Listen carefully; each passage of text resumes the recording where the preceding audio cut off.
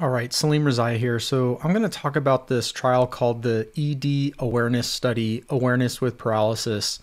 Now, the full blog post was written and published on Rebel by Rob Bryant, um, who is an amazing emergency physician, but I thought this study was important enough that we should talk about it. So, the clinical question these authors were trying to answer was What is the prevalence of awareness with paralysis in ED patients receiving mechanical ventilation? This was a single academic emergency department and it was a prospective cohort study.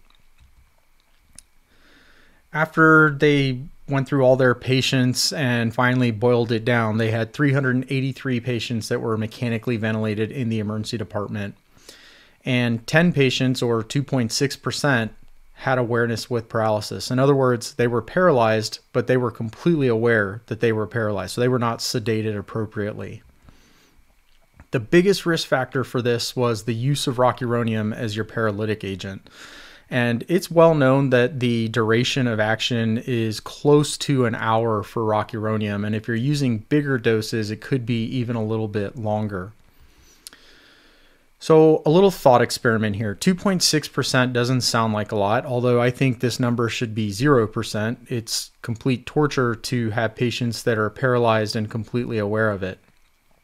So let's imagine that an average ED physician does about 12 intubations over the course of a year. And there have been multiple studies that have looked at this, and the range is anywhere from five intubations all the way up to like 19 or 20. So I picked a number somewhere in the middle, just an arbitrary number. Now, imagine you have a group of 40 physicians, which is what my group is, and that would equate to about 480 intubations per year. So if we apply that 2.6%, that's 12 patients that are awake with paralysis per year. That's 12 too many. Now, take that and multiply that by the thousands of emergency departments that are around globally, and you can see how astronomical this number is. So, solution to the problem. So, typically, the way this works is we order our rapid sequence intubation medications, we get the patient intubated, they get put on the mechanical ventilator, and then there's this delay. There's this delay of getting sedation and analgesia up. And so the solution is actually really simple. What you should do is order your sedation and analgesia at the time that you're ordering your RSI medications.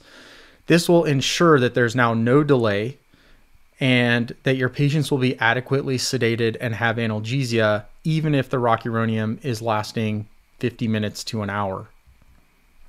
Clinical bottom line of this study Awareness with paralysis, about 2.6%.